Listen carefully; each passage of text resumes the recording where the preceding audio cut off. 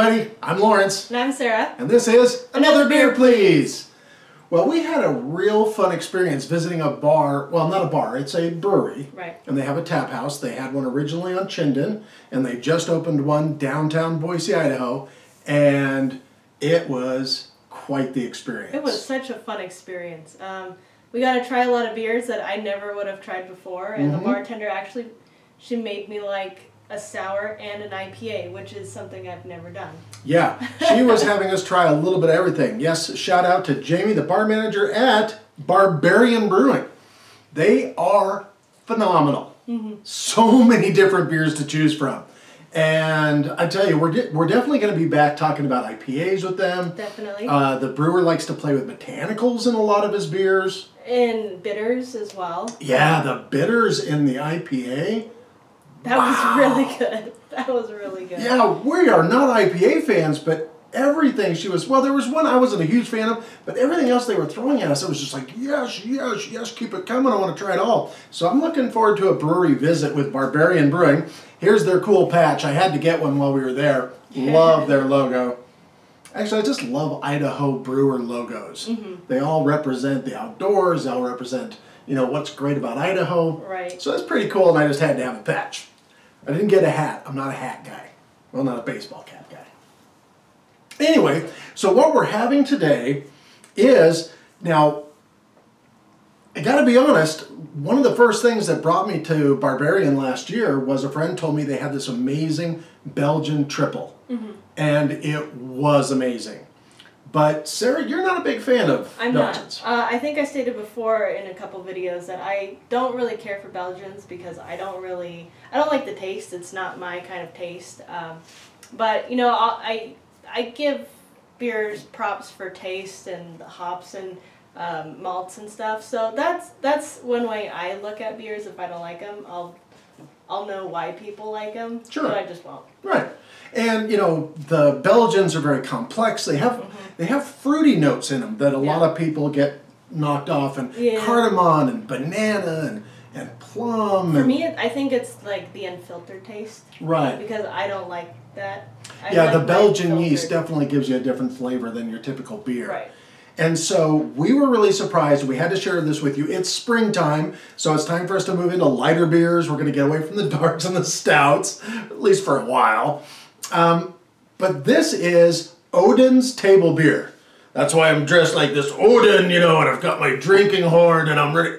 I'm not really going to drink out of that. I like to put my beer down on the table every now and then, and horns aren't really good for that. You can get holders for them, so yeah, go for it. But uh, we did the Scald last week, the, um, you know, the Swedish, the Mad Swede. And so it just kind of felt like a natural thing to move into Odin's table beer. And they bill this as a light Belgian. Right. And I am not a fan of light beers. When I see the word light, I hear added too much water, not enough flavor. But that's not the case here. No, this is actually um, quite a good introduction Belgian. Um, Mm. I actually don't mind this one, and which surprised me. And the first time, you're like, you want to try it? Like, eh, I'll try it. But it's actually pretty drinkable. It is very It's drinkable. very surprising.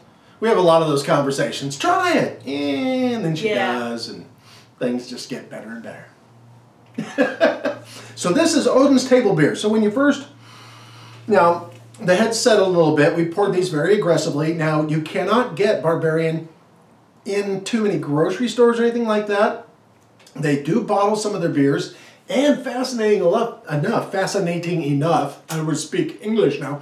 They will can your favorite beer right there in the brewery for you. Right in front of you. I think we're going to have to uh, get one of those and show you guys. Yeah, That's very cool. Like, where? Why do you go to a brewery to get a different experience than you would to a bar? But when you go to a brewery that cans right in front of you, that's pretty neat. That's kind of cool. Like that's that's really cool. you get your own custom six pack, and prices vary depending on the beer you're getting and all that. Just like prices vary on the different beers you try. Mm-hmm. But the downtown tap house has 25 taps, Yeah. and that is an impressive outlay of beer. It's great beer. So let's get down to Odin's table beer. First of all, you are going to smell that bready quality of the yeast, of the Belgian style brewing. So it's almost going to have that wheat beer esque kind of aroma to It It does. but there's a sweetness there and a complexity that you just don't get with your average beers. See the whole pro. Uh, I was gonna say the whole process, but the whole um, experience drinking this, at least for me, I just get hit with the um, the light notes and the nuttiness. Mm-hmm. Um, did she? Do you remember what nut is in here? Is it like just hazelnut? No, I don't remember the nut, Okay. Well, it's okay. but I do remember the taste of the beer. Right. And this does have a quality of a wheat beer to it. It it is a clear beer. It's a little hazy, but not like you expect from an unfiltered wheat beer or an Right. unfiltered Belgian beer or an unfiltered beer at all. It has a nice crispness crispness to it. It is still dry on the finish, It is. It is. but it's very low on IBUs. It's only 15 IBUs. Is it? I thought it was lower than that. No, this one is 15. But they do have beers at Barbarian that are zero, Zero. IBUs because the brewer, instead of hops, uses botanicals and creates some very interesting beers. Now, this, I have to admit, I'm a huge Belgian fan. He is. I really love the dark, strong Belgian ales. I drink a lot of those. And this is a wonderful introduction to Belgians for people. If you've got a friend who's like, "Oh, I don't like Belgians, oh, I don't like wheat beers, oh, it's too yeasty, um, eh, make them try Odin's Table Beer. This is really drinkable. This is. Yeah. And the fact that summer's coming, this is probably going to be a regular beer for us. Mm-hmm. Yep, we're going to have to keep a growler in the car so whenever we can, we can swing by Barbarian, fill it up. Their prices are very reasonable on the mm-hmm. growlers. People are incredibly friendly. The bartenders are very well educated in beer, and they take a great mm-hmm. deal of pride in helping you explore beers. Mm-hmm. Now, you can get a large taster for a couple of bucks, Right. you know, try a few things, or they'll just give you this little plastic thumb thumbnail, not Thumb- thumbnail, Thimble? thimble, a thimble full of beer so you can at least give it a try. And we tried some really interesting beers. That was a lot of fun. Yeah. Um, she even started bringing us some little uh, thimbles of just beers when. when Yeah. we were just talking, and she's like, "Oh, try this! Oh, try, Try this, try this. So we're was like- definitely gonna have to make Barbarian probably a special or something. We're gonna have to go through a lot of their beers. Yeah, it's I really think great. I think our brewery visit to Barbarian is pretty much going to be us sitting at the bar trying flight after flight of beer. It's gonna be a great day. oh, I'm looking forward to that. Now it does have IBUs, so you are going to get that dry finish.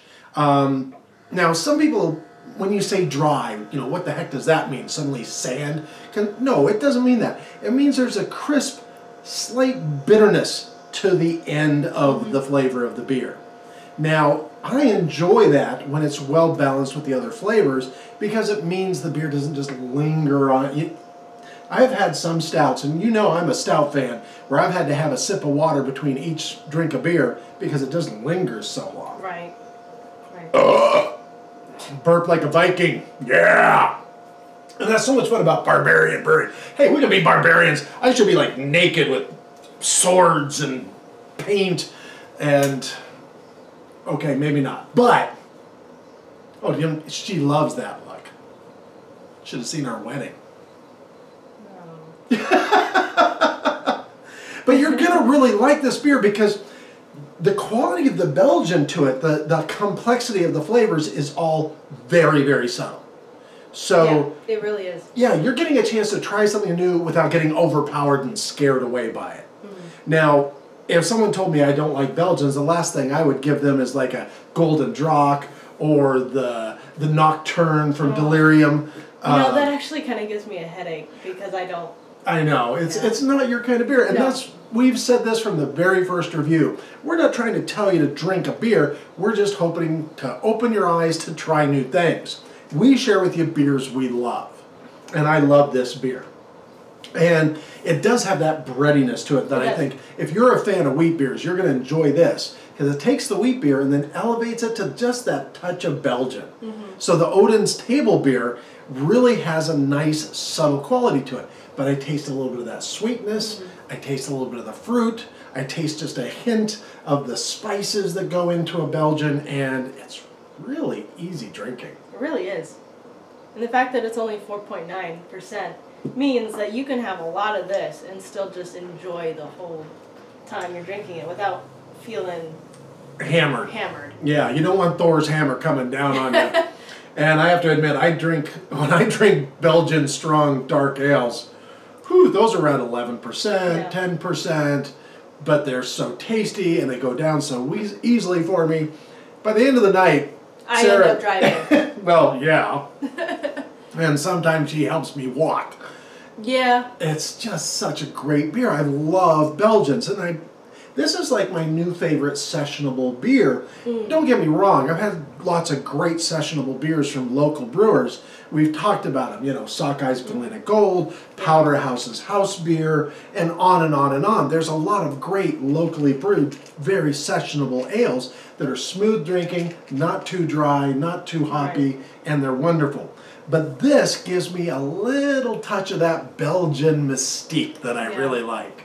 Yeah, so I mean, if you love Belgians but you want something a little smoother, a little lighter, this is perfect for that. Mm-hmm. Yeah. And you remember when I was telling you in one of our first reviews, if you're going to taste beer, you don't sip it like a wine expert. You get a good mouthful in there. You work it around the tongue. You breathe through it, so you're experiencing the whole aroma profile and the whole, whole taste profile. And that's when you find all the complexity that goes into a Belgian beer. Hmm. This one is not as sweet as most Belgians I've had, and that makes it nice and easy to drink because you can have one and you haven't killed your sweet tooth. It's got just that little touch of bitterness at the back end of your throat when you're drinking to make you know that there's some, you know, there's some IBUs in there. There's a little bit of bitterness, and that balances very nicely. It's got this lovely color. It's carbonated very nicely. It is. Um, we put our um, our beer in our um, what is that thing called? Growler. Uh, we got our growler filled two days ago.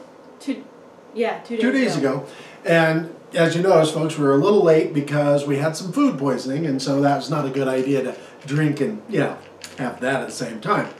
But uh, so we kept it in the fridge, and we use the type of growler that seals very tightly, not just the screw top ones. We've got a few of those, but to be honest, I like using the snap down sealable uh, growler because it keeps the carbonation, keeps the beer tasting fresh, and it lasts in the fridge for several days Right. Until you're ready to drink it. And so I'm really enjoying this. Yeah. Now, one thing you'll notice that you see the lacing of the beer along the glass. what does that mean? That means that the glass is clean. Yeah. We clean our glasses. Please don't drink beer out of crappy, dirty glasses. That's just wrong.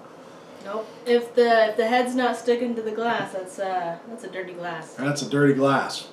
So, something to keep an eye out when you go out to the bars. If you see, well, first of all, please tell them to give you a good inch and a half of foam so you can enjoy the beer the way it was meant to be. And please make sure you get a clean glass so you can enjoy your beer. That's why, as much as I might goof around with this, I'm never going to drink out of this, you know, animal horn. Yes, they did it back in the past because they had no choice, and yes, they had a lifespan of 28, and they all died of If you were dysentery. yeah. But get a good, nice, clean glass, pour a good head on Odin's table beer, and you're going to really enjoy it. I love this beer. It's very nice.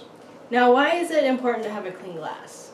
Probably wondering, like, why, why do I care about lacing? Well, it's because if you go to a bar and the head is not sticking to the glass and doesn't cause that lacing, that means there's that dish soap, some sediments, uh, dirty Residue. water, residue that's going to be in your beer that's probably going to either cause you to be sick or it's just going to make the beer taste like crap. Yeah. So, if You, if want to taste the beer. yeah, if you don't see the lacing, ask for um, at least another beer Yeah, no kidding. or a Uh, clean glass. Now, I'm always polite in my brewery tastings, my brewery Right. visits, my bar visits, and my restaurant visits, but I'm insistent on the things that I know are going to keep me healthy and help me enjoy my experience. Right. So I will tell bartenders flat out, not enough head on that, please add some more, and they'll just kind of go boosh boosh. No, all you do is carbonate the top inch, pour the damn thing again, would you? I'll pay for another one. No, I wouldn't. Pour the beer right if you're going to pour a beer. Now, one thing that's cool about the Barbarian, their new um, uh, tasting room downtown, and it's a lovely tasting. Oh, it's gorgeous. lots of room right down there on uh, the corner of 11th and Main. Yes. And it's got a little outdoor area to sit in. And they have live music every tuesday night.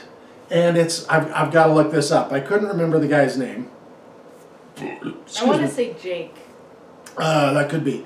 But I the name know. of the band is the sawtooth serenaders. Shout out to you guys. You sounded great down there every tuesday night. Go and check that out. And you've got to be willing to explore i mean that's what we're really about you know we're sharing things we love but you should just get out there and explore you will find the things that you love about beer and different beers because they poured me an ipa that i thought no i don't like ipas and then i tasted it I was like we liked it, it had which was all really really weird. yeah, it had all that resinous Yeah. hoppiness to the aroma, but the flavor was just crisp and clear and tasty. It's called Enigma. They call it an Mm. East Coast style IPA, and it has raspberries and Pinot Gris juice in it, and it has a 70 IBU. Yeah. And so it's got that bitterness in it, but when you're tasting it, it's like poof, the bitterness goes away. You don't even taste the, the the hops because I don't go past the 30 IBUs because I Typically, no, me neither. Uh, yeah, because I know from my experience that if I go over a certain amount of IBUs, I know I'm not going to like it just with how many times I've tried to like something that has hi- has higher IBUs. This is our first beer, I swear. Bleh. but um, no, this was 70 and I've never had that before, but I honestly didn't taste the hops, No, and there was which was beautiful. there was a saison that had rose water in it. Another IPA that had, I think it was an IPA that had, uh, might have been a sour that had rose hips in it. I mean, the bar, the bartender was telling us about how much the brewer loves to play with botanicals. So if you want an evening of really interesting beer tasting and Yeah. a very enjoyable beer tasting, is they had a great Scotch ale. Um, there's seasonals they come out with and go away that I'm, I'm looking forward to trying. Yeah. I'm gonna have to wait till wintertime when we get back into the stouts. Stouts will often drift up towards 50 IBUs, but when they're done right, that means it just all works together. Yeah. So back to Odin's table beer. Easily drinkable, nice subtle Belgian style flavor with that hint of sweetness, that mm-hmm. hint of exoticness. That's what I like about Belgians. They have an exotic quality to them. they do. And if you have someone who does not like beer, they might actually like Belgians if their flavor tastes go that way. I thought you were gonna say if you know someone who doesn't like beer or Belgians, I'd be like, yeah, that's me. Yep. But But she's enjoying the Odin's table. I really am, and that's genuine. I'm not lying. Wow. I don't think you've ever finished a beer on camera before.